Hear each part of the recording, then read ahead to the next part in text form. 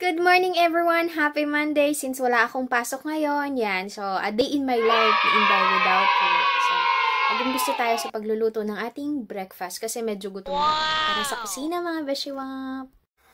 Ayan, so magluluto tayo, magluluto tayo ng breakfast natin. Um, shawpan, magluluto tayo ng shawpan. So, ito na yung mga ingredients natin. Meron akong ham, sibuyas, bawang, at saka yung ating repolyo. Wala akong carrots eh. So, ano to, American uh, fried rice. Siyempre yung rice natin. So, tara, let's do this. Bawang.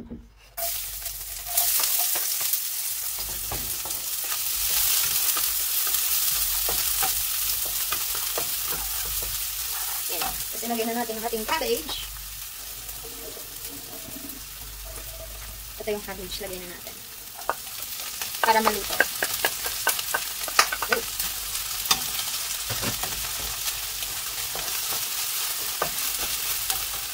Sama na rin natin ito. Pagkasama-samahin na lang rin natin. And then, lagyan natin ng konting soy sauce. Kunti lang kasi pang pakulay lang natin dun sa ating uh, rice. And then, yung magis sarap. Hindi na natin siya lagyan ng salt. Kasi may toyo na, tapos may magic sarap na.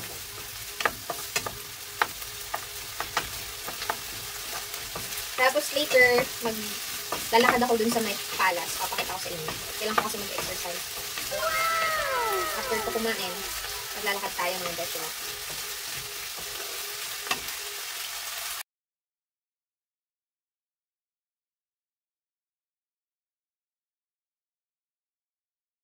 Ko. Siyempre hindi, pang ilang kain ko na to mga best, kayo naman talaga, oo. Alam niyo naman mag-isa lang ako sa buhay. Dito kasi, kahit may kasama ko sa bahay, kanya-kanya kami ng luto, kanya-kanya kami kain, kanya-kanya ng treat. Siyempre, haluin na natin ito.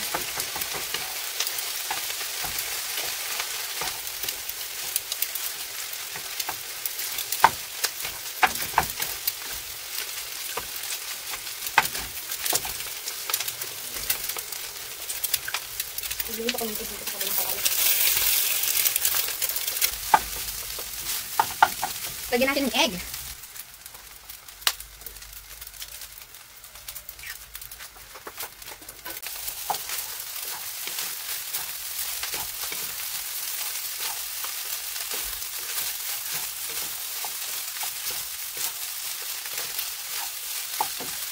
Nakikita nyo ba yan mga beshi Very yummy. Oh, ha?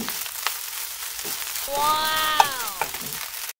Yan, luto ng ating fried rice. Meron tayong uh, sunny side, sunny side egg, tapos ham. Ayan, pwede tayong kumain. Tsaka magtitimpla na lang ko ng kape.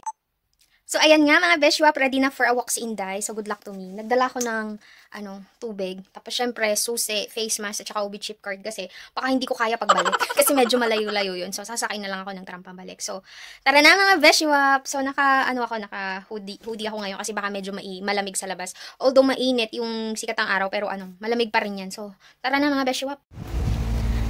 Ayan mga beshiwap, 'di ba? So nagpalit ako ng jacket kasi medyo malamig.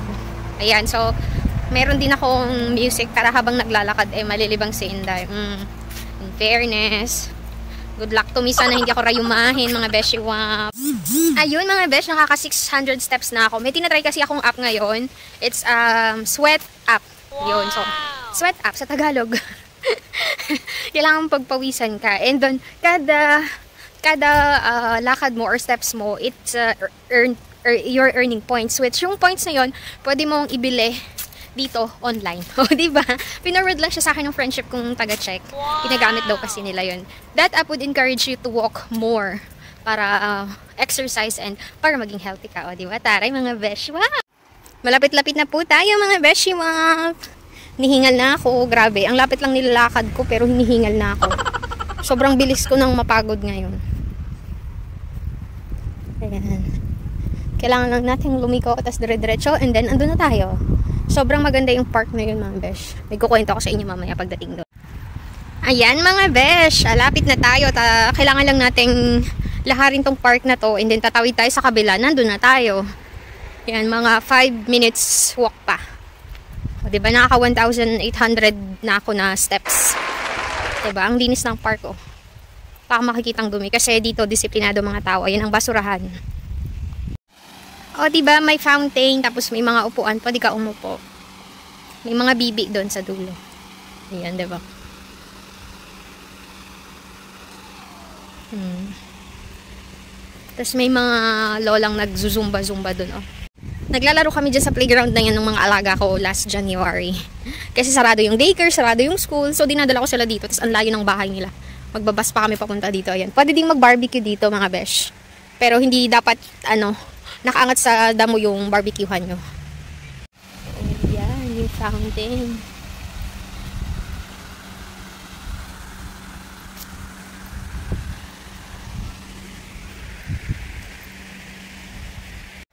Malapit na tayo mga besh. Tatawid na ako ng ano, kabilang kalsada. Tapos andun na yung park malapit sa palace or sa palasyo. Hindi pa ako masyadong hinihingal pero ramdam ko na. Ang bilis ko na talaga mapagod mga besh. Oh. Hindi naman ako ganito dati. Ganun talaga ang life. Sign of aging, sabi nga. sabi ko naman sa inyo, yung katawan ko 60, ay 60, 30 plus pa lang ako, 35.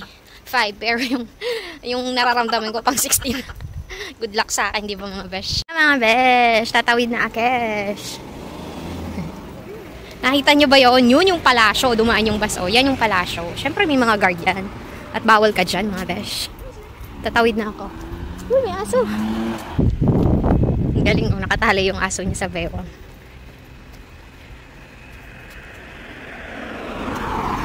Tawid na ako kasi andito na yung park. Let's read this. Ayan, yung information. Ang labo naman, hindi ko mabasa. So, punta tayo dito. Ang daming raspberry, oh. Oh. Dami.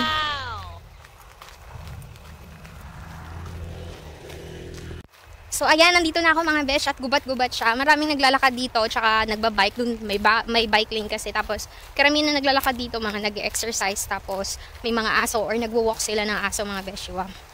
So, diba? pumunta tayo dun sa my lake kasi doon may upuan tapos may lamesa. Pwede ako uminom doon. Work ka. Ang yung mga tao dito. Ayun, nantay niya yung aso niya. Naglalakad siya ng aso. Kakaliwa tayo kasi, ay, yun yung aso niya. Hi! Ang kulit.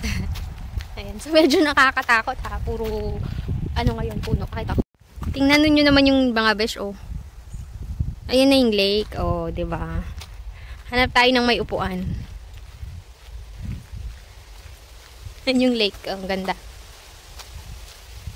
Actually, may lusot to papunta dun sa ano, Central Station. Pwede ko naman gawin yun mamaya kung hindi pa ako napapagod. Total, maghapon naman ako magpapahinga ngayon. No? ba? Diba? Tingnan nyo. Ooh. Save naman dito. Mm, si Kuya, nagja-jogging. Ayan na ba ang forever ko? Charot nahiya ako, 'di ba? Enough ko muna. Ay pinost ko muna.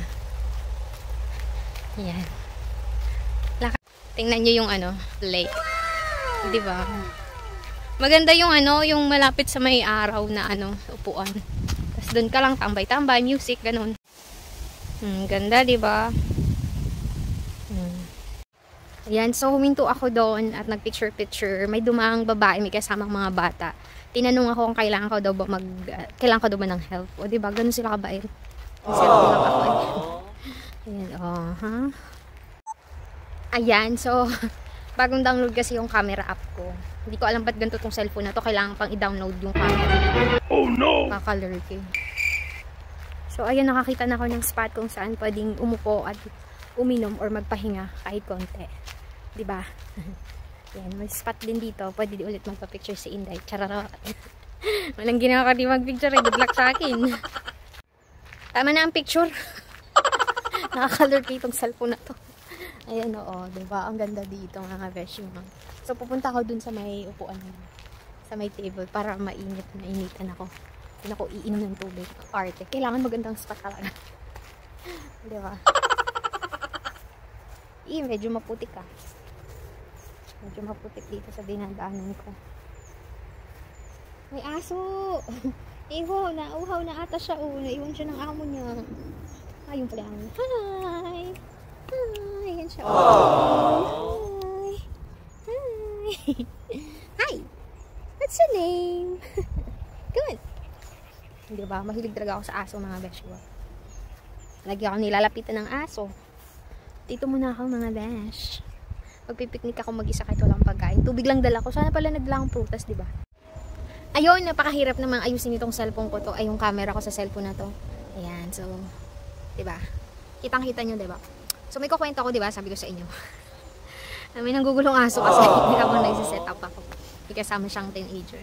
So, ayun, may nakaka-date na ako dito. As in, ano siya, sa siya. Medyo maulan pa nun eh, mga malapit na mag-spring, so medyo malamig pa. So, syempre, after date, kailangan magkape kayo or mag-drinks. Sabi nung nanay-nanayan ko dito, pag nakipag-date ka, di ka binihla ng kape or anything, wala nang second date. Ibig sabihin ko, ripot yun. So, wala nang second date. Marami ako naka-date dito, pero wala nang second date. Kasi, hindi kape, hindi ka malang mabilhan. O, diba? Iba pa rin ang Pinoy, kahit construction worker lang yun. Pag sinabing date, sagot nila yun. Kahit wala nang pera, kinabukasan yung pamasahe pagpasok, sagot nila yun. Ganun ang Pinoy. kaya nakakatawa, diba? So, kaya siguro, hindi rin talaga ako yung parang yung mindset ko na magsisettle dito. Kasi, iba pa rin yung, ano eh, yung same kayo ng culture, same kayo ng, ano, ng paniniwala. Ayun. Dito kasi more on, ano, uh, entities, something like that, or antichrist, mga ganun. Which is wala silang pinaniniwalaan.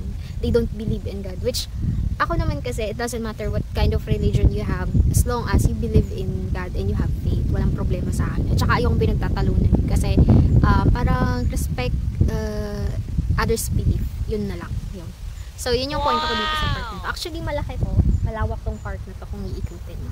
At saka nga pala, naka 2,000 steps na ako. O, diba? San ka? So, ayun, since hindi pa naman ako medyo pagod, baka idiretso ko to papunta dun sa may Central Station. Para dun ako sasakay ng tram pa uwi. O, diba? Saya-saya naman. So, ayun, since hindi ako makapagbakasyon kung saan dahil wala ngang datong si Inday, dito na lang muna. Meron naman mga park dito na malapit sa amin. Enjoy, enjoy na lang. Tsaka maganda yung weather ngayon. Although medyo mahangin, pero umiinit siya. Kaya yun, perfect. Kaya dapat kailangan maubos ko tong tubig na to before ako umuwi. Mag-lock sa akin mga beshi Ayan, so maglalakad na ako dun sa tulay na yun kasi pag ganun lang yun, Central Station na. pagka winter wala masyado tong mga damo-damo dito eh. uy raspberry ay anong blueberry ang dami ayan daw wow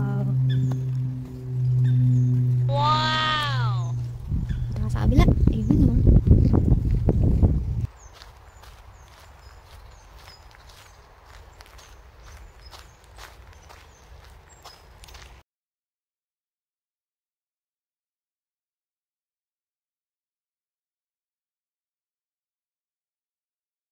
Pero hindi, safe naman dito. Tsaka, malapit kasi ito sa palace, kaya maraming pulis, ganun.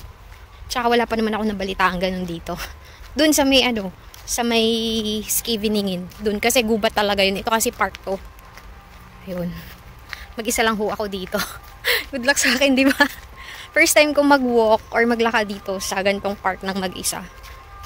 Tsaka maaga pa naman. Ile, 10 pa lang. Sinisinok ako. Tingnan na. Hmm? Sinisinok talaga ako. Ayan. Diba?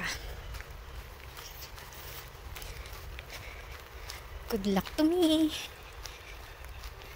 Gusto ko kasi makaabot hanggang central ang naglalakad. So, off ko muna para mabilang yung step ko. Step ko, mga besh. Ayan, nakita ko na yung palabas, yung papuntang central station. Diba? Scary yun, mga besh. Hindi ko na uulitin yun. Tatawid lang tayo dun sa kabila din. Nandun na yung central station. Diba? Sayo ng adventure na tong. Ayan mga besh, ako na lang na naman mag-isa. Medyo scary na naman itachiwa.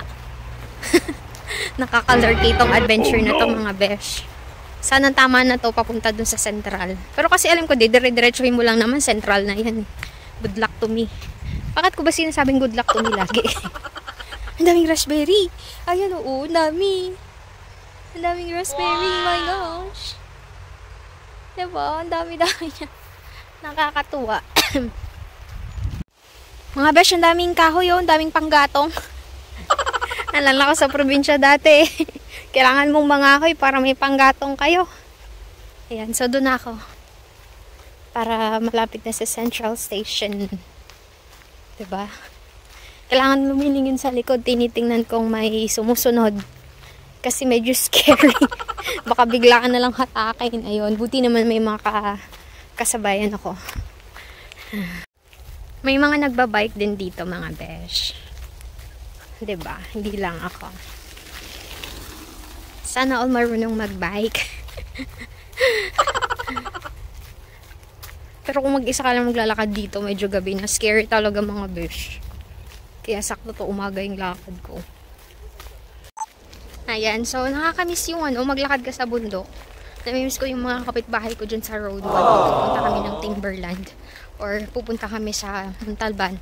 Maglalakad lang kami from our house going to Montalban. 4 hours hanggang dun sa Timberland.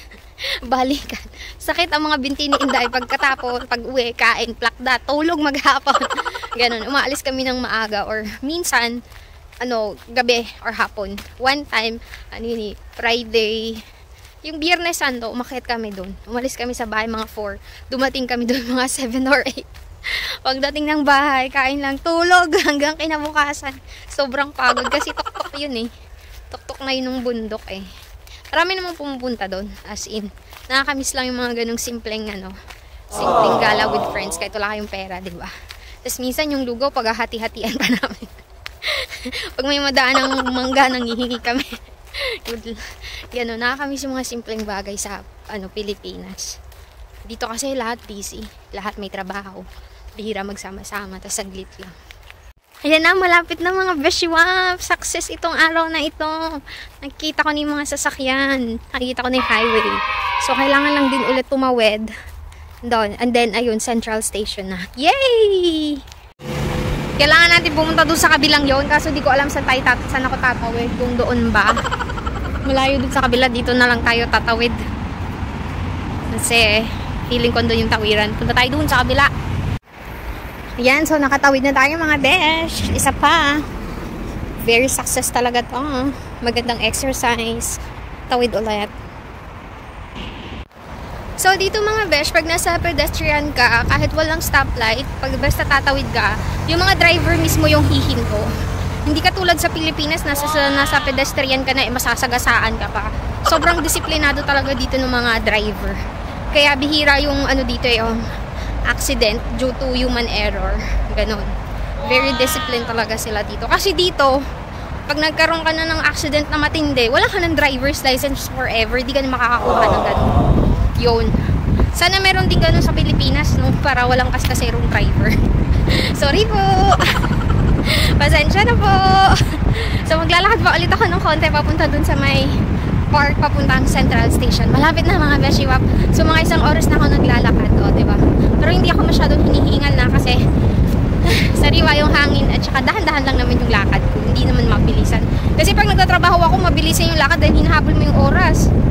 Kasi minsan malayong lalakarin or gahabol ka ng bus kasi may time yung bus. Pag naiwan ka ng bus, 30 minutes to 1 hour ka mag-aantay. So, kailangan mabilisan. Ngayon, dahan-dahan lang. O, diba? So, ibababa ko muna to.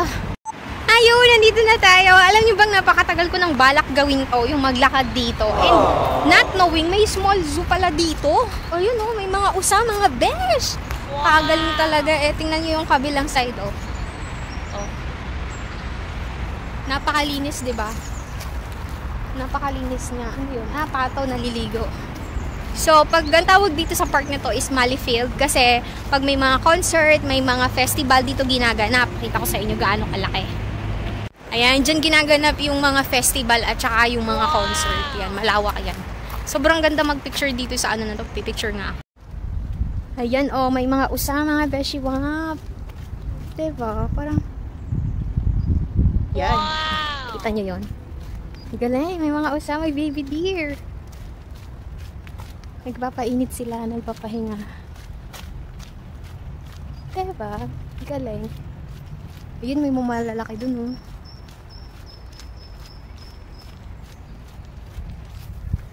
Ayan na yung malalaking usa. Ang lalaki nila. Oo. Sa pelikula ko lang dati yan nakikita. Tingnan nyo ngayon. No? Zoom natin. Ang lalaki nila oh. Naalagaan sila dito. Dami. Lumpa oh. Ayan sila mga bish. Ang dami nila. Ang kakatuwa. Diba? Oh. May bakod, bawal eh. Dami-dami nila, oh. Saan ka po? Dito lang yan sa may Central Station, nandun ha. Ang dami nila, my gosh. Ang dami pang baby. Hindi mo akalain sa gitna ng city, may ganyang sanctuary para sa mga usa. Aww. Para sa mga deer. Diba? Dami-dami. Galing. So, achieved. Nandito na ako sa Central Station. Papahinga muna ako saglit. Kasi maganda yung view dito. Tingnan nyo. Oh, dabong. So, papahinga muna ako dito mga 5 minutes bago pumunta dun sa Central Station at sasakay na ng tram pa uwi. So, see you later mga beshiwap! At andito na ako sa Central Station. Ako ay magta-tram na pa uwi. Dinala ko akong face mask at saka ang aking Obit chip card. Ayan. So, akyat tayo, sakay tayo. Yan, malapit ako umuwi. Nasa tram na ako mga beshiba. Pauwi na si Inday. Ayan. So, achieve na achieve yung walking ngayong today. Ayun na mga besh, nakabalik na ako dito sa bahay at naka 6,888 steps ako for today. So, good job. Hindi naman ako masyadong napagod at hindi ako masyadong, uh, hindi ako inatake ng asthma. Tsaka hindi ba masyadong masakit yung aking binte or yung hita. So, ayun. So, that's it for now mga beshies. Don't forget to like, share, and subscribe. And thank you so much. And see you tomorrow. Bye-bye. Have a good day.